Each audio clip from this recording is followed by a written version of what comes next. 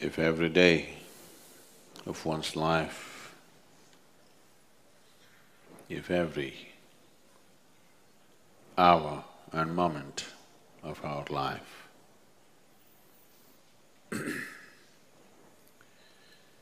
if it has to be a forward movement, if it has to be a process of growth and not stagnation,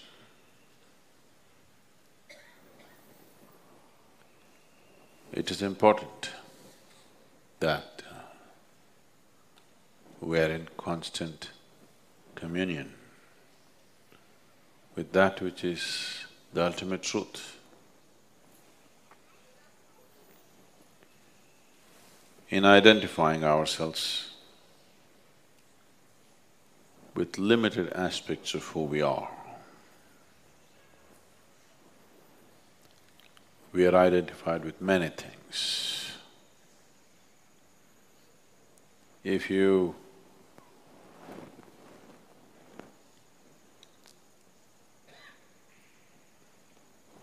I have seen in the families sometimes, different people have different plates to eat. In case you change the plates and give, there will be a big argument. The plates don't taste, nor can you eat them. It neither tastes good, nor does it nourish you. But the plate, this is my plate, I will not eat in your plate.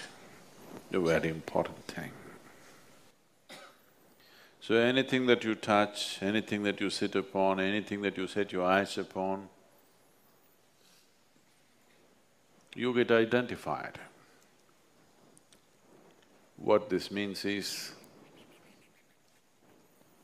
let's say, you don't know how to drive.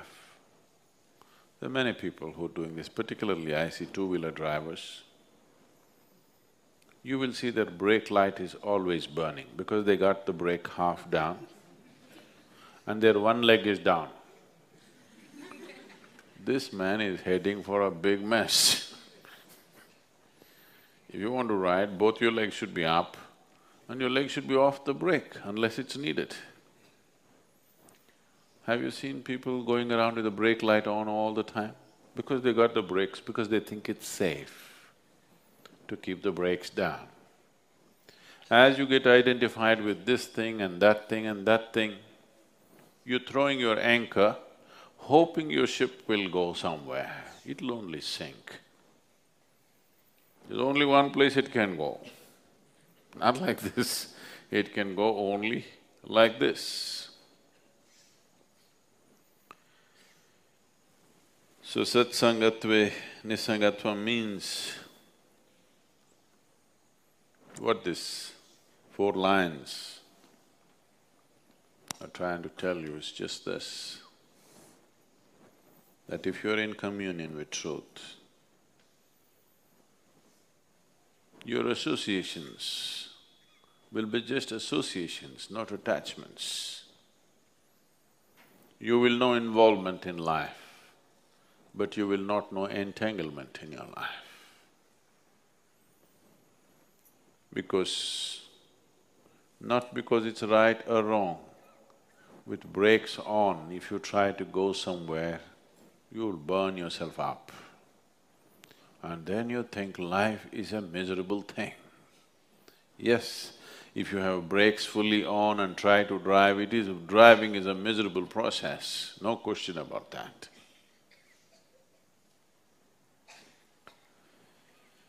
So if one has to constantly be on the move, if one has to let his life fly, not crawl, if one has to evolve, if evolution is an ongoing process for you, if your idea of evolution is only to the extent that Charles Darwin endorsed it. That is, your spine got little shorter. You know, it used to be long and hanging out. Now it got a little shorter, you can sit a little more comfortably. You don't have to roll it up. If that is all, is the idea of evolution, that's one way to live. Little better than a monkey, but much more troublesome than a monkey, much more destructive than a monkey. If that is the idea of evolution, it's fine. But if your intention is to evolve as an ongoing process, every day, every hour, every moment, if you want to evolve, the brakes should go off. Only then it'll roll. If you're driving a car or whatever, you don't have to keep the throttle on all the time. If you have it on for some time and then leave it, depending upon the kind of terrain you're doing, it'll keep rolling. As long as you don't touch the brakes, it keeps rolling. Life is like that too. Spiritual process is like that too. Sadhana is like that too. You just press it and leave it, it keeps running, unless you're braking all the time. Whatever you see, you're getting attached to it. Whatever you see, you're getting identified with it. If you identify yourself with anything, that is not you. Obviously, you are not moving from untruth to truth, you're moving from truth to untruth, from reality to hallucinatory process. In this, one will not evolve, one will just entangle, because in this, you will not know the nature of your existence. In this, you will not touch anything that is real the psychological drama will rise in such a big way, it will raise so much dust in your head that you can't see what is in front of you. If a dust storm comes up here, if now they you know, they've grown grass and this is not possible. Suppose a dust storm came, you're sitting here, the Dhyanalinga is here, but you cannot see because there is a screen. This is what is happening because you're constantly raising the muck because you're identifying yourself with things that you're not. The moment you're identified with something that you're not, you're moving not from untruth to truth, but from truth to untruth.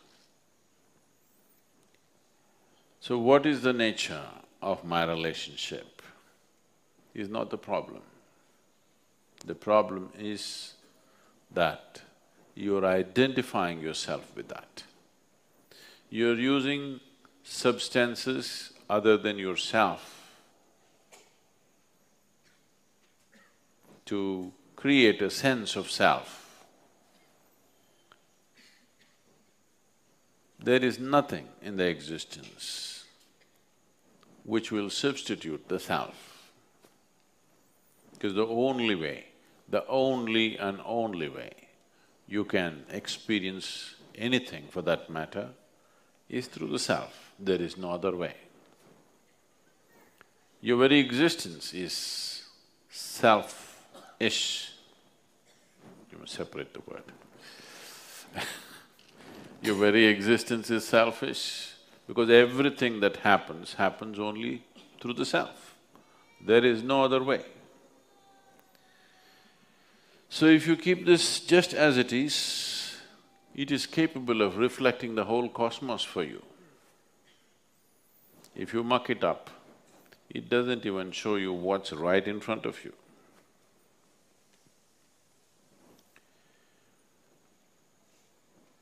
So, if you are in a state of nirmoha or non-identification with anything other than what's this, you will come naturally to an unwavering way of being. Once you're unwavering in your purpose, liberation cannot be denied to you. There is no way it can be denied to you. The reason why this life does not get to its natural destination is every minute you're changing course. Every minute, the focus of your life keeps shifting. Every minute, whatever you set your eyes upon, it gets identified with it. So after some time, it just does not know where to go. It just will not know where to go. It will be one confusing mess. Suddenly life looks unnecessarily complicated. The complication is only in your psychological process. Life is pretty simple. Birth is not in your hands. You're just born and you have to just die one day. Really. Is anybody else making anything else compulsory for you? Is anything else compulsory? Birth is compulsory, death is compulsory. In between, whatever the hell you want. Simple, isn't it? No, no, no, but, but, but, but, but, that's all yours. Only two things nature has set for you. You're born, you have to die. Aren't you glad you have come with an expiry date? Aren't you glad? No? I'm glad.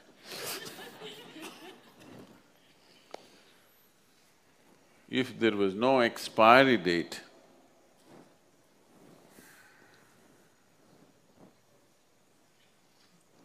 could we make you meditate for a moment? Suppose you were immortal Oh my God, could I tell you anything? Only because there's an expiry date and the time ticks ticking, whether you live or you don't live, whether you do something or you don't something, don't do something, it just keeps going. Because it doesn't wait for you.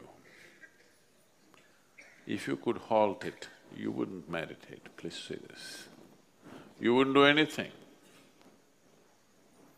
because you cannot halt it, just going. By the moment, it's getting closer. You think you're going to get married? I'm telling you, that may happen on the way, but you're going to die, that's for sure. Yes.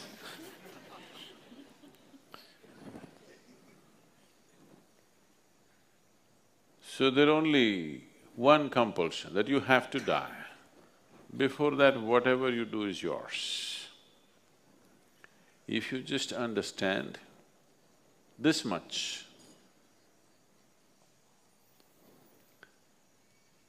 when you were born, there was no compulsions, you could be whichever way. Only compulsion is stomach. Once stomach is full, there's only other compulsion that you have to die one day.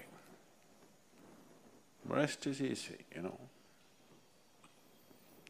You can complicate it if you want, but it's actually very easy, you can do whatever you want.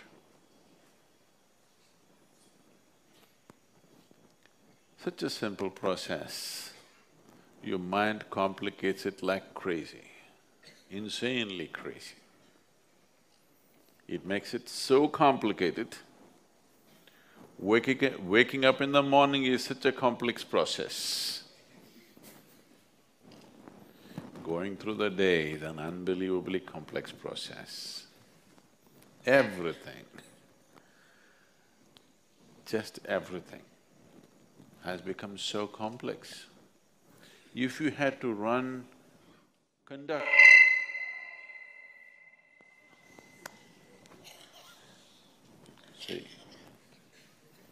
If you have to conduct the audio system, I'm sorry.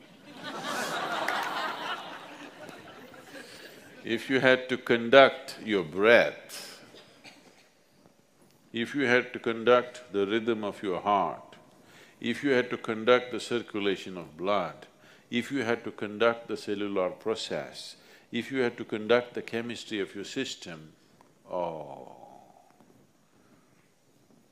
Can you imagine, just conduct your breath for ten minutes, let me see. Goes all over the place. If only if you had to conduct the life process, I don't know what would have happened to you. You don't have to conduct it, it's all free.